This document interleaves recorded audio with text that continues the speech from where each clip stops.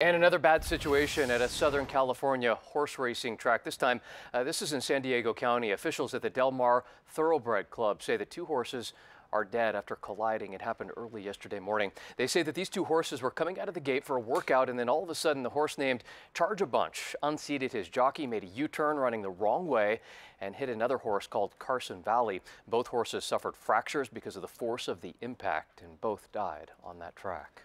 And because horse safety is front and center at other tracks here in California as well, horse racing officials and veterinarians are working hard to find ways to keep those horses as safe as possible. Fox 40's Doug Johnson has more on how officials at the California State Fair are doing exactly that. He joins us now live at Cal Expo. Doug.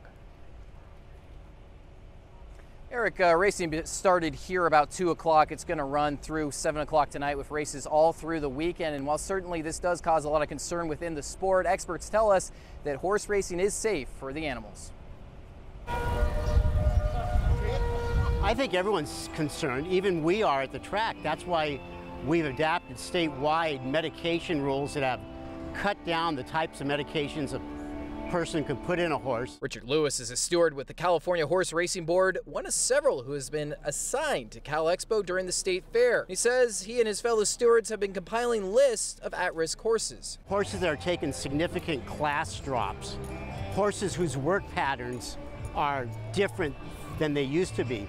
And then when we make a list of that, those horses, the day they're in, the veterinarians are taking double and triple looks at them. Despite Thursday's incident at Del Mar in San Diego County and a spike in deaths at Santa Anita Racetrack, experts say racing is actually getting safer for horses. Over the last five years, we've reduced the number of fatalities in California overall by over half.